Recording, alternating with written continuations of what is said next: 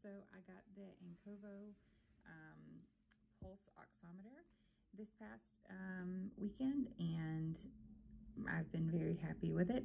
So I went ahead and opened the box and it conveniently came with batteries, which was super nice.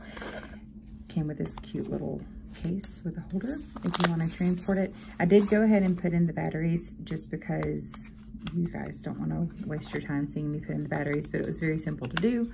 Uh, back is on and off very simply. Um, as per the instructions, all you have to do is mash the button, wait till it zeroes out. Once it zeroes out, you put your finger in and you wait. And it's reading. And then when it finishes reading, it will tell you what your oxygen level is and what your heart rate is. So uh, I'm at 98 uh, saturation for my oxygen level and my heart rate is currently 73. So um, really easy to use. Um, I have other, uh, I've used other pulse oximeters in the past that were pretty complicated.